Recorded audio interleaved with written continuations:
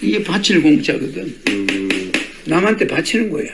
음, 이루어 가지고 네. 사회에 바친다. 예를 들면 어떤 걸 바치는 건가요? 공, 공. 음, 공을. 공을 이 사회에다 돌려주는 거야. 음, 그게 성공인데 음, 사람들은 성공을 성취로 잘못 생각해요. 자기 성취. 자기가 자기를 성취한다. 그건, 그거는 잘못된 거예요. 어, 성공을 해야 되는 거지. 이루어서 준다.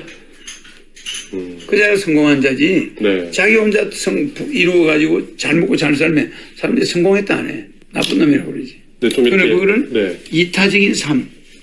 이타적. 이 남한테 이롭게 하는 삶. 이타적 삶을 성공이라고 그래. 근데 이기적 삶. 성공해가지고 자기밖에 모른다. 이게 실패예요. 무슨 지 알겠죠? 네. 실패는 이기적 삶이야. 음, 그럼 일반 사람들 이 실패자를 성공이라고 그래. 총재님 힘들 때 어떤 생각 좀 다 주로 하시는지 궁금해요. 어떻게 네? 버텨내시는지. 그러니까 말하자면은 힘든 일이 있을 때. 음, 네. 힘들어도 네. 남을 위해서 한다. 이렇게 생각하면 그게 힘든 게 아니에요. 음, 세상 사람을 위해서 하는 거니까. 네. 그러니까 억울하지도 않아. 어, 그렇게 생각하니까. 그렇지. 음. 내 성취를 위한 게 아니란 말이에요. 네. 성공을 위한 거야.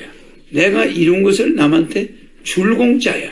그래서 우리가 공로상 그러잖아. 네네. 저 사람 공이 크다. 국가에서 네. 공은, 네. 공은에 대한 훈장을 줘. 음, 그렇죠. 맞아, 맞아. 맞아요. 네. 그 개인한테 주면은 감사 표시를 하잖아. 음, 그러니까 우리가 음, 성공은 이룰 성자, 이룬 것을 베풀 공자, 남한테 베푼다. 음.